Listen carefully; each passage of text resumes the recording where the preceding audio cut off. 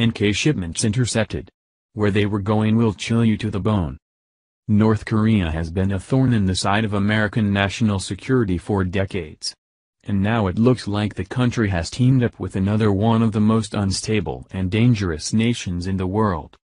A Reuters report indicates that two shipments from the Hermit Kingdom have been intercepted on their way to a chemical weapons agency inside Syria. That information was provided to the UN Security Council several weeks ago, and indicates a troubling alliance between the two rogue nations. The panel is investigating reported prohibited chemical, ballistic missile and conventional arms cooperation between Syria and the DPRK, confirmed the UN report, using the acronym for the Democratic People's Republic of Korea, North Korea's formal name.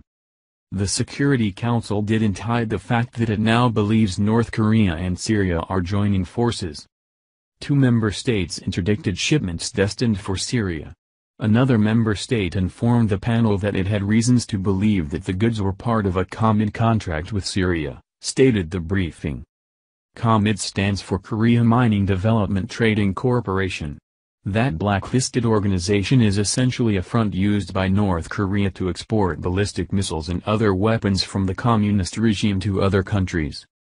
Just as North Korea ignored its Clinton-era agreement to halt the pursuit of nuclear weapons, it appears that Syria is ignoring similar diplomatic agreements that go back four years.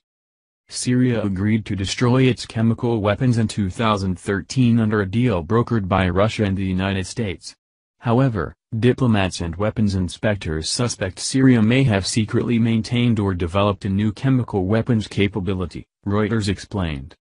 The apparent collaboration between North Korea and Syria makes the covert plan to develop chemical weapons extremely likely.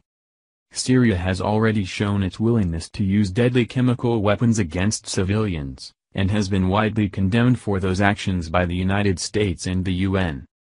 The simple fact is that sanctions and harsh words don't seem to work. If they continue to ignore warnings, both North Korea and Syria may have to be dealt with militarily in the near future. And if history is any guide, the United States will be the one doing the heavy lifting. Thank you for watching this video. What do you think about this?